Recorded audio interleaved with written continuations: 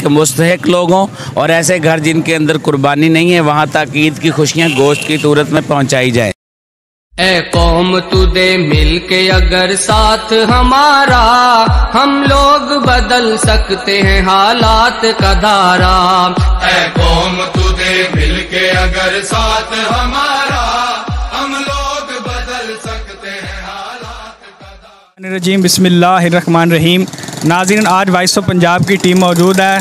पंजाब के साहिवाल डिवीज़न के अंदर। यहाँ पर हमें एक अनोखा प्रोग्राम नज़र आया है। जमात इस्लामी के एक मकामी रहनमा तैयब महमूद बलोच साहब। उनकी तरफ़ से एक कुर्बान प्रोजेक्ट के नाम से एक प्रोग्राम किया जा रहा है, जिसके तहत तो उनका आज़म यह है कि वो तीन हज़ार से ज़्यादा घरानों में ईद का गोश्त पहुँचाएँगे। तो उनसे हम पूछते हैं इस प्रोग्राम की जो है मज़ीद डिटेल पूछते हैं। आ, सर सबसे पहले तो ये बताइएगा कि इस प्रोग्राम के तहत आपके कितने जो है इलाके के लोग मुस्तफ़ होंगे और इसकी डिटेल मज़ीद क्या है? रहीम सबसे पहले तो मैं वॉइस ऑफ़ पंजाब प्रोग्राम वाले दोस्तों का मशहूर हूँ जो है हमारे इस प्रोग्राम को कवर करने के लिए और हमारी हौसला अफजाई के लिए। दूसरी आपके सवाल के मुतबाबत मैं गुजारिश करता चलूँ कि जनाब सराजल हक के हुक्म पर पूरे पाकिस्तान के अंदर जमात इस्लामी के लोग इस काम को लेके चले हैं कि मुस्तक लोग और ऐसे घर जिनके अंदर कुर्बानी नहीं है, वहाँ तक ईद की खुशियाँ गोश्त की सूरत में पहुँचाई जाए। इसी सिलसिले में जैसा कि हम, ये हमारी रवायत है, हम 25-30 साल से इस काम को कर रहे हैं, गुजशत पाँच सात साल से बड़े पैमाने से करते हैं।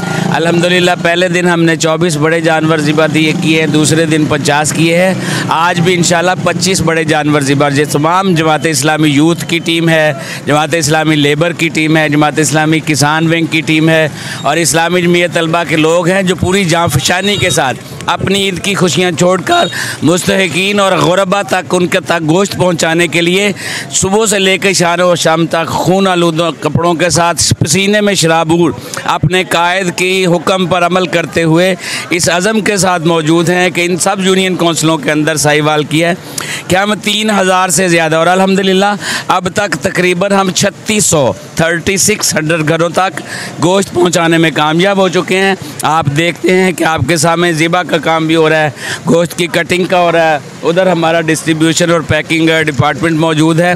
ये साथ साथ सारा प्रोजेक्ट चल रहा है। सर, एक और सवाल मैं आपसे ज़िमनी करना चाहूँगा, जैसे कि ईद के दिनों में रूटीन जो होती है, आप चूँकि एक सियासी कारकुन है, सियासी लीडर भी हैं तो ईद के दिनों में रूटीन ये होती है कि फैमिली के साथ ईद टाइम गुजारना है, दोस्तों के साथ मिलना है, मेहमान आ रहे हैं, उनको खाना खिलाना है। मैंने कल से नोटिस किया और और आपकी जो टीम है, वो पसीने के अंदर शराबूर है। अभी भी आप पसीने के अंदर जो है, वो शराबूर है, इस गर्मी में खड़े हैं, काम की निगरानी कर रहे हैं।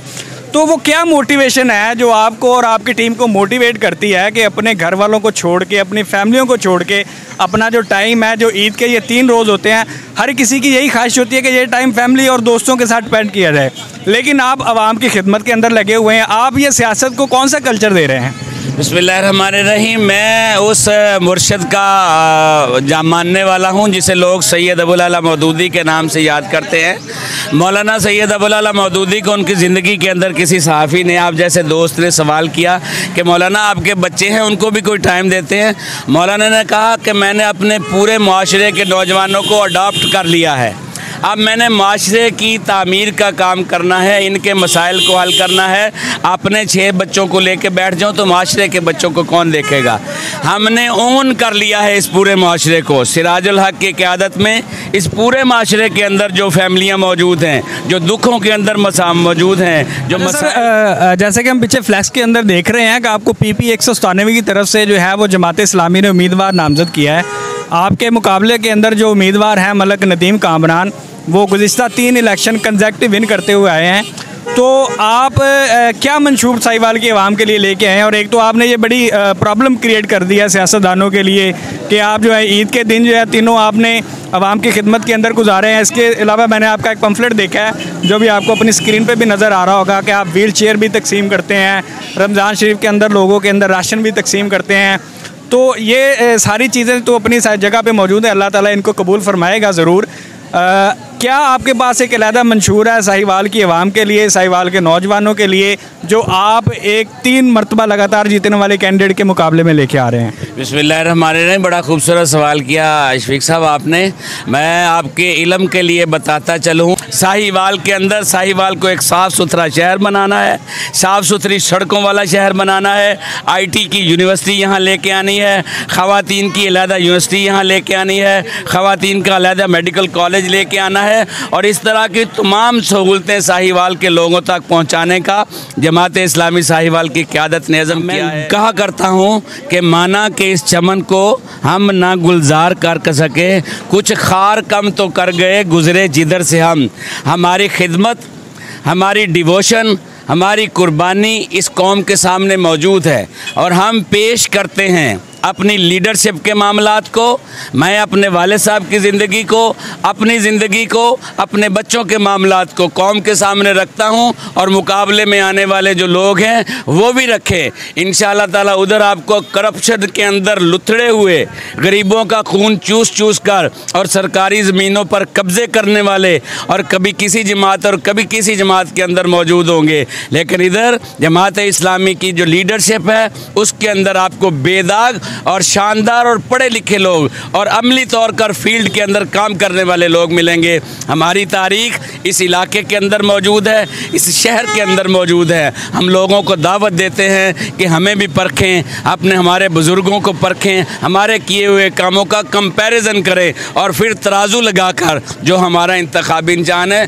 फिर तराजू लगाकर दयानतदारी और हक और सच के साथ फैसला करके अपनी मोहर इन आप जब दयानत ईमानदारी और यकसुई के साथ फैसला करने बैठेंगे तो आपकी मोहर इन तराजू के तीन हज़ार से ज़्यादा घरानों के अंदर गोश्त पहुँचाएँगे। इसके अलावा ये व्हील की तकसीम का काम करते हैं, ये राशन की तकसीम का काम करते हैं, बेवा और यतीम बच्चों की कफालत करते हैं।